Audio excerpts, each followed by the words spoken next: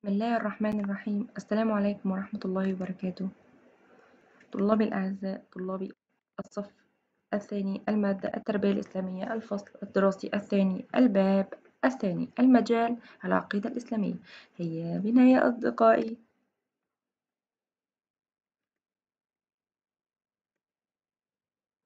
أهداف الدرس لليوم أن يتعرف الطالب على قصة نبي الله نوح عليه السلام. أن يذكر الطالب الدروس المستفادة من القصة. مستعدون؟ هيا بنا هيا بنا نتذكر أركان أحسنتم. أركان الإيمان أحسنتم. هنا الركن الأول الإيمان بالله. الثاني الإيمان بالملائكة. الثالث الإيمان بالكتب السماوية. الرابع الإيمان بالرسل. الخامس الإيمان باليوم الآخر. أحسنتم. السادس الإيمان بالقضاء والقدر والإيمان بالقدر خيره وشره. أركان الإيمان. قد أخذنا من قبل الركن الثالث. اليوم لدينا الركن. أحسنتم. الركن. أحسنتم. هنا لدينا الركن الرابع. هيا بنا يا أصدقائي. هيا. بنا لنستمع إلى هذه الأنشودة. سفينة نوح عليه السلام. إلى روح نوح عليه السلام. تحن النفوس ويرن النهار. أدار السفينة فوق المياه. عليها من الناس قوم كبار. نجا المؤمنون ولم يغرقوا. ومن أشركوا غرقوا في البحار. دعا الله حتى استجاب له. وأثمرت الأرض بعد الدمار. هيا بنا يا أصدقائي نتعرف على أحسنتم على عنوان درس اليوم هنا. عنوان الدرس سيدنا نوح عليه السلام. إذا عنوان الدرس هنا سيدنا نوح عليه السلام. هيا بنا يا أصدقائي.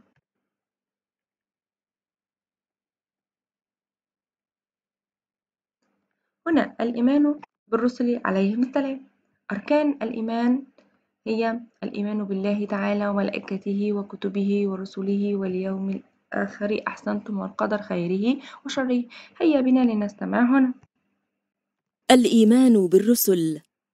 كثر أبناء آدم أبي البشر عليه السلام وانتشروا في الأرض وأصبحوا أقواما وشعوبا كثيرة ومع مرور الزمن نسي بعض الناس ربهم الذي خلقهم. صنع الناس بأيديهم أصناما من الحجارة وعبدوها واعتقدوا أنها تضر وتنفع. اختار الله تعالى من الناس رجالا صالحين يتصفون بالحكمة والصدق والأمانة وأرسلهم إلى الناس وأرسلهم إلى الناس لدعوتهم إلى عبادة الله وحده. من هؤلاء الرسل نوح عليه السلام وهو أول رسل الله تعالى وآخرهم محمد صلى الله عليه وسلم. قد استمعنا أن أحسنتم إلى هنا أن آخر الرسل هنا سيدنا محمد عليه السلام. عليه السلام نقول أم صلى الله عليه وسلم أحسنتم. هنا عند ذكر اسم رسول من رسل الله تعالى يقول تأدبا واحتراما عليهم السلام. ولكن سيدنا محمد ماذا نقول؟ صلى الله عليه وسلم. والمسلم هنا يؤمن يؤمن هنا بكل رسل الله تعالى. هيا بنا يا أصدقائي مع درس اليوم. لننظر هنا إلى شجرة الأنبياء. هنا سيدنا آدم وسيدنا إدريس. هؤلاء هنا كل هؤلاء رسل. هنا أنبياء. سيدنا آدم وسيدنا إدريس أنبياء. سيدنا نوح من أول. هنا أول الرسل إلى النهاية. سيدنا محمد. آخر الرسل. هيا بنا يا أصدقائي. هيا بنا نستمع إلى قصة سيدنا نوح عليه السلام. كان نوح عليه السلام رجلا طيبا. وقد أرسله الله إلى قومه ليدعوهم إلى عبادة الله وحده لا شريك له وينهاهم عن عبادة الأصنام. رفض قوم نوح عليه السلام الإيمان بالله وحده وأصروا على عصيانهم واستمروا في عبادتهم للأصنام التي لا تضر ولا تنفع.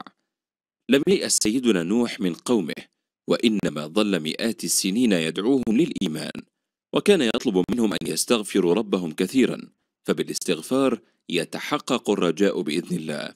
فقلت استغفروا ربكم إنه كان غفارا.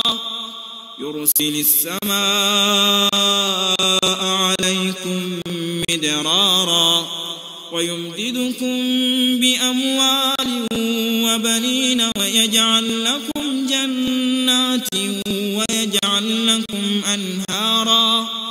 ولما تأكد سيدنا نوح عليه السلام أن قومه فضلوا الكفر على الإيمان تحدث إلى ربه وقال يا رب إنني دعوت قومي في الليل والنهار ليؤمنوا بك فلم يسمعوا لي ولم يطيعوني وكلما دعوتهم كان يضعون أصابعهم في آذانهم وكانوا يغطون وجوههم بملابسهم كي لا يشاهدوني وأنا أدعوهم.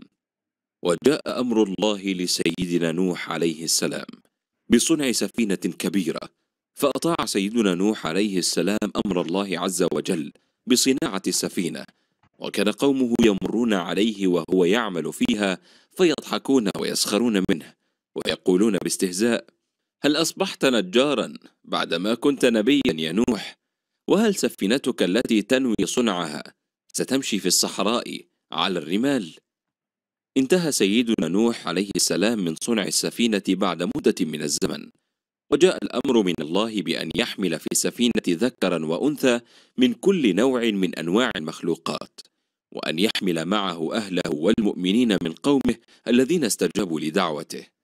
نفذ سيدنا نوح عليه السلام أمر الله وركب الجميع السفينة ثم أمر الله السماء أن تمطر فأمطرت بغزارة ثم أمر الأرض أن تخرج ماءها وبدأ الطوفان وجرت السفينة فوق الماء وتخطت الأمواج العالية ولم تتوقف ونادى نوح عليه السلام على ابنه ليركب معهم السفينة وألا يكون مع الكافرين الهالكين.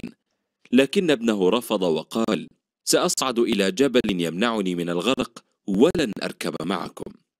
فقال سيدنا نوح عليه السلام لابنه لخوفه عليه سيغرق الماء كل شيء. فآمن بالله واركب معنا في السفينة.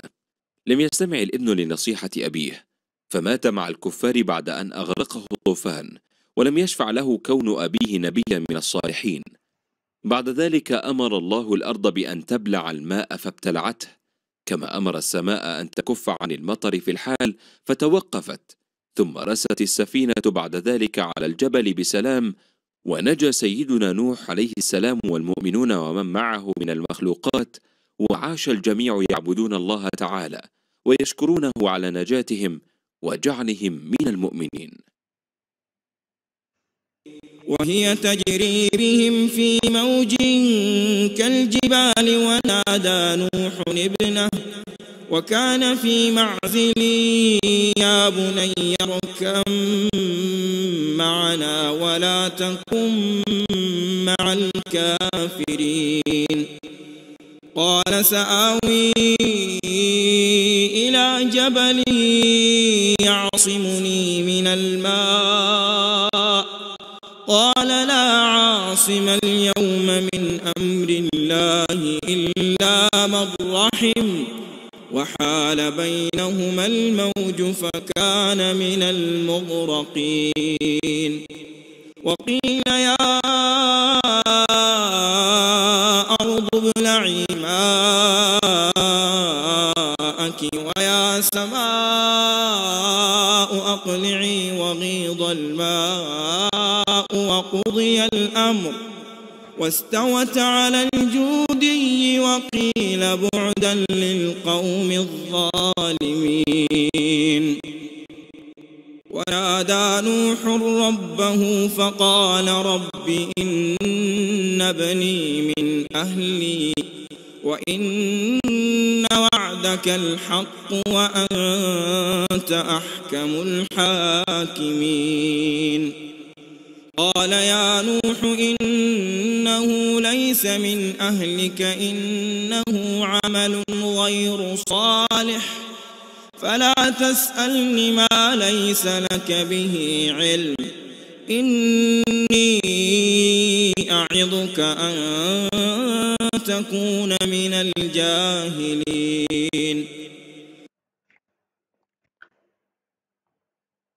قد استمعنا أصدقائي إلى قصة سيدنا نوح. هيا بنا يا أصدقائي. لنستمع إلى قصة سيدنا نوح من كتاب المدرسة. نوح عليه السلام. كان نوح عليه السلام رجلا صالحا. يعيش مع قوم يعبدون الأصنام.